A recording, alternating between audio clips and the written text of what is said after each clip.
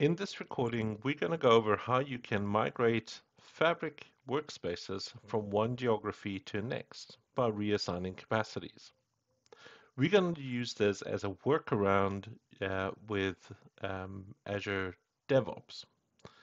In other words, the process is we're going to source control or synchronize a workspace, an existing workspace, um, with Git in ADO and we then going to stand up a new workspace in, under different capacity and geography um, and then synchronize the artifacts back in. So understand there are some limitations to this. For instance, data synchronization, etc. So if you're synchronizing anything beyond DDL and DML in a uh, sorry DDL inside of a, um, a data warehouse, um, that will not come across. Okay, so let's look at some of the uh, some of the supported uh, artifacts. So you can obviously use this method to migrate uh, pipelines, lakehouses, notebooks, paginated reports, um, Power BI report artifacts with some limitations, um, as well as semantic models, again with some limitations. Understand that the, the default uh, data warehouse and lakehouse semantic models will be recreated in the new workspaces uh, when the uh, the lake houses and warehouses are stood up. Um, you're able to obviously um, uh, work with Spark definitions, Spark environments, and then the DDL uh, of the data warehouses. Um, there are other limitations here, uh, such as yeah, uh, in other considerations, you know, how do you synchronize data, those kind of things, and that's beyond the scope of this. This is purely if you have built um, certain artifacts that you want to migrate across, right? Any other artifacts that's not listed here, uh, such as um, uh, Kusto environments and those kind of things, so the, the KQL databases, uh, job definitions, all that stuff. Uh, unfortunately, that is not available to sync, but I'm assuming, or, or at some point in time, uh, when they become Git integrated, um, they, this method will obviously be supported. Cool. So let's see what's required. So the first thing, I've stood up a, um, a, uh, a Azure DevOps project. Uh, I have a repository um, this repository is empty. Uh, I'm just going to initialize the main branch. Here we go. Default, there's nothing in here. There's, you know, uh, no other branches but the main branch. In my Fabric instance, I'm going to go ahead and create a workspace. So let's just open up data engineering. Uh, I'm going to click on workspaces, new workspaces. Right. I'm going to say this is Here's workspace A, right? I'm going to go ahead and uh, assign fabric capacity to this works, workspace, and I'm going to start with assigning it in uh, the West US, right? So I have see this two capacities. So go to workspace in West US. Go ahead and, and hit apply and create my workspace. Now, the first thing I want to do is I want to create an, uh, a fabric artifact so that I can start uh, synchronizing these artifacts. So let's just go ahead and create uh, a lake house.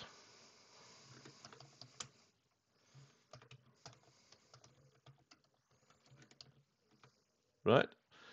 Uh, oopsie daisy. Sorry, no spaces, no funny characters, right? So there's my first test lakehouse that stood up in my uh, US West 3 location, right? Uh, to go back to workspace A. We're going to go to workspace settings. And as you can see, here's my lakehouse, right? Uh, we're going to go to Git integration. I'm to go ahead and uh, pick up my project, which is this migration demo. Uh, I'm going to pick up this um, the repository, which is this migration demo repository. Uh, I'm going to choose my main branch. Um, and again, you know, if you have other branches, you can do this.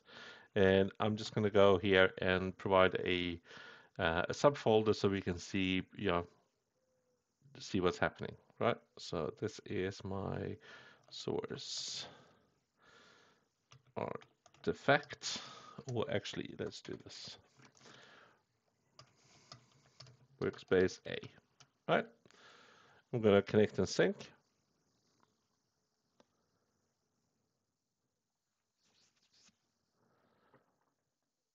Yeah, create the folder, connect and sync. There we go. It's busy synchronizing. You can see that things are being synchronized and our lakehouse is synchronized. Please note that it's not syncing the semantic model nor the SQL endpoint because um, they will be automatically generated by the instantiation of the lakehouse, right? Go back here. Let's just go ahead and refresh my repo. We can see here we got workspace A, we have uh, our lakehouse, blah, blah, blah. All, all is good, right? Um, cool. So now back over here, um, we might want to, well, let's say now we want to move these artifacts to a different capacity. We want to reassign capacity so we can move geography.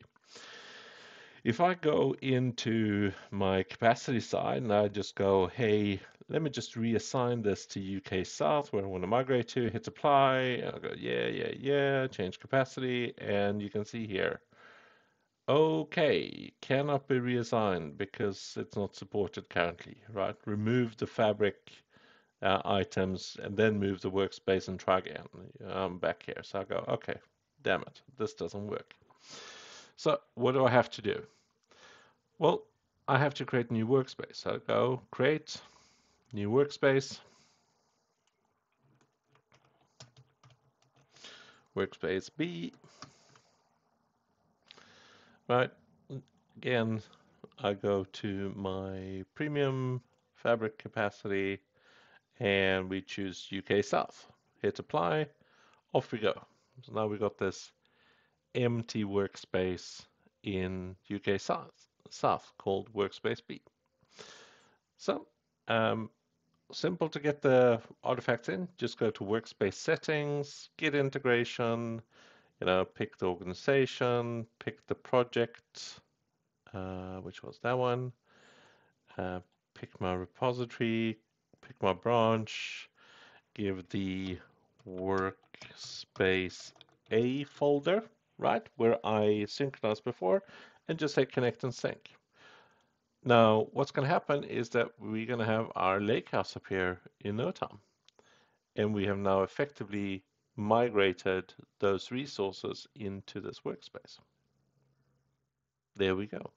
It's busy syncing, in it comes, there comes the SQL endpoint, and soon enough, there is our semantic model, right? You can say test lakehouse A, right? If we go to my other workspace, there you go test lakehouse A. Um, once you're done with source control, you can obviously just go ahead into the workspace settings, Git integration, and go disconnect the workspace. Uh, and um, obviously delete the workspace when you're done, if that's, you know, if that's required. Uh, but you can then go and you can remove this workspace, right? Oh, uh, need to do that uh, using uh, the uh, admin portal. But anyway, uh, so that's a, a, simple way to uh, migrate resources from one workspace to the next. Cool. And I can again go into here into source control and disconnect my workspace B.